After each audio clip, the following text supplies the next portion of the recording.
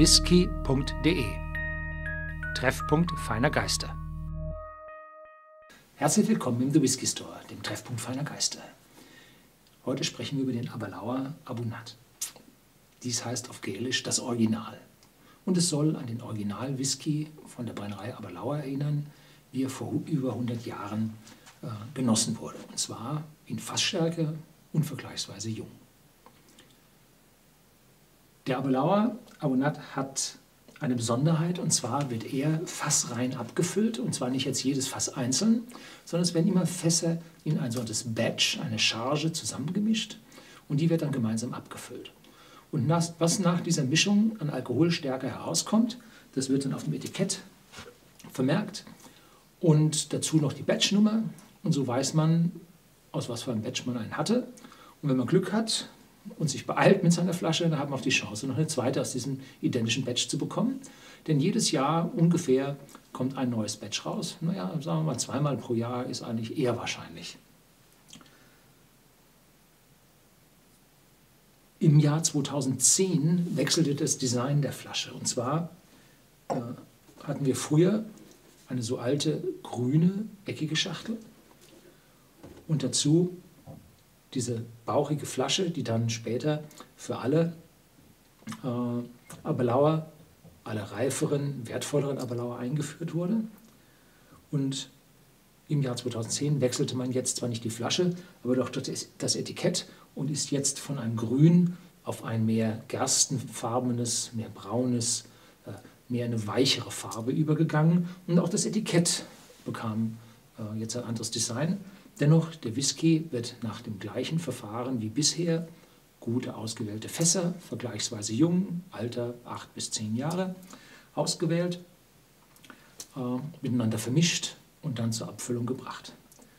Probieren werde ich heute das Batch Nummer 19. Das ist vergleichsweise alt, denn der Wechsel fand unmittelbar von der Nummer 31, die noch alt war, auf die Nummer 32, die jetzt neu ist, ab äh, statt. Und dieser Whisky wurde nun mit 59,9 Prozent abgefüllt und der Batch 32 mit 60,4.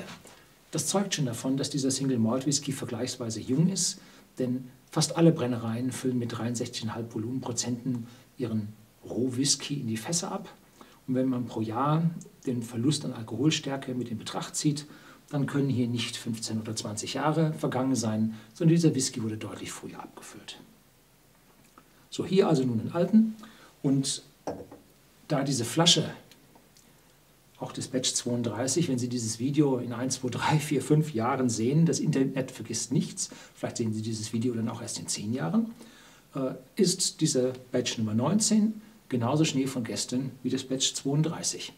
Deswegen werde ich jetzt nicht so ganz auf die extremen Details im Geschmack eingehen, sondern Ihnen versuchen, mehr den groben Geschmack zu erklären. Oh, ich liebe dieses Plop und diese dickwandigen großen Flaschen. Das macht eine sehr wertige Aufmachung. Die Flasche ist auch vergleichsweise schwer, auch jetzt, wo sie fast leer ist. Und wenn Sie sich die Flasche anschauen, so stimmt der Farbton äh, von beiden Flaschen, auch wenn diese deutlich weniger noch gefüllt ist, relativ gut überein. Es handelt sich also um First Fill Oloroso Sherry Fässer, äh, die hier im Laufe von acht bis zehn Jahren wirklich wunderbar starke, dunkle Farbe abgegeben haben. Dazu kommt die Fassstärke, ist also nicht mit Wasser verdünnt. Das macht den Whisky nochmal dunkler.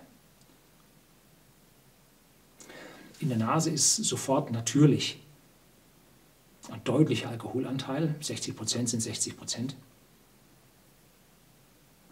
zu spüren und daran muss sich die Nase jetzt erstmal gewöhnen. Ich persönlich probiere keinen Single Malt mit mehr als 50 Prozent. Ich werde also nachher vorm Probieren den Whisky mit stillem Wasser etwas runter verdünnen. Denn Alkohol ist in einer hohen Konzentration ein Nervengift und das würde mir die Geschmacksknospen im Mund doch so weit belegen, dass ich die feinen Aromen nachher nicht mehr schmecken würde.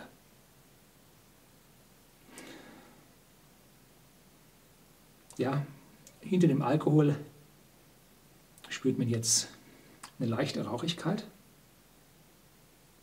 Nicht sehr stark, aber mehr als nichts. Sehr, sehr aromatisch. Äpfel, Birnen, frische Früchte. Im Gegensatz zu einem alten Single Malt, der dann mehr auf dunkle Früchte umkippt, hat man hier also mehr frische, hellere Früchte. Ja, und der Alkohol, der ist mir jetzt zu stark. Ich werde hier ein bisschen stilles Wasser zugeben, äh, um diesen Alkohol ein bisschen in den Hintergrund zu drängen. Das Besondere, was passiert, wenn man Wasser zugibt, es werden weitere Aromen frei, die vorher unterdrückt wurden. Und in diesem Fall ist das sehr, sehr viel Sherry. Die Früchte werden deutlicher, der Alkohol geht tatsächlich schön zurück.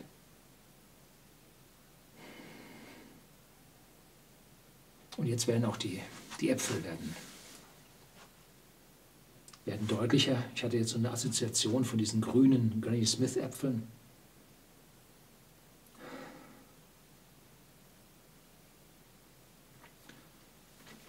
Wenn man diesen Whisky sehr lange stehen lässt, und ich habe das mal gemacht, ich habe den mal ungefähr auf 40 Prozent runter verdünnt, habe den sehr lange stehen lassen und dann kam dabei ein ganz normaler zehnjähriger Aberlauer heraus, wie wir ihn aus der Standardabfüllung vom Dauertiefpreis kennen. Und dieser Whisky lebt also von der Dynamik. Der lebt davon, dass man in der Verdünnung einen Zusatz an Aromen bekommt, der dann nach einer gewissen Zeit wieder verfliegt. So nach zehn Minuten ist die Sache dann zu Ende. Und bis dahin steigen also besonders viele aromatische Stoffe auf. Und damit ist dieser Whisky eigentlich mehr was zum Schnüffeln, zum Verdünnen, zum Schnüffeln.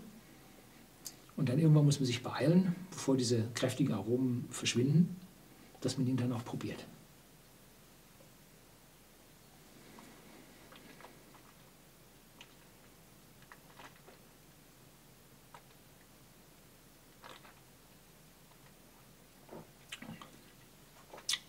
ölig, sahnig, Sirup, unheimlich Süße macht sich breit, die im Aroma so als gar nicht, gar nicht feststellbar war.